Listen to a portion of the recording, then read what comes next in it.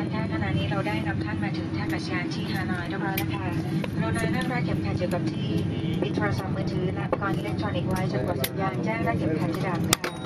การบินไทยและสตาร์ไลน์พร้อมทุกคนกขอขอบพระคุณที่ท่านเลือกใช้บริการของเราแต่หวังเป็นอย่างยิ่งว่าจะได้มีโอกาสต้อนรับท่านอีกนะะสวัสดีค่ะ Ladies and gentlemen, we have now landed at Hanoi Airport. Please keep your seatbelt fastened. Keep your mobile phones and electronic devices off till the passing seatbelt sign has been turned off.